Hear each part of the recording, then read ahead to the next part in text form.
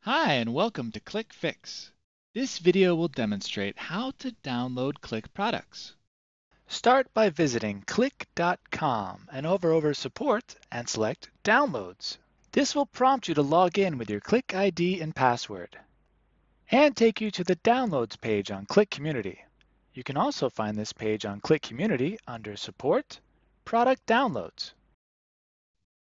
If you have any issues accessing this page, check the settings of your browser to verify that third-party cookies from the qlik.com or community.qlik.com domains are allowed. From the download page, select the product category from the top row. The latest release and patch is already pre-selected.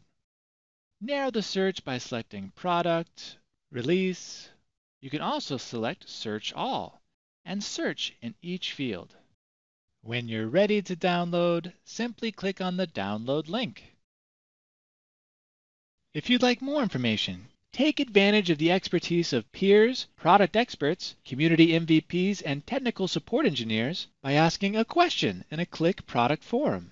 Hiding in plain sight is the search tool. This engine allows you to search Qlik knowledge base articles, Qlik community forums, help.qlik.com, Qlik gallery, multiple Qlik YouTube channels, and more, all from one place. There's also the support space. We recommend you subscribe to the Support Updates blog and learn from Qlik experts via a webinar, like Techspert Talks or Q&A with Qlik. Thanks for watching.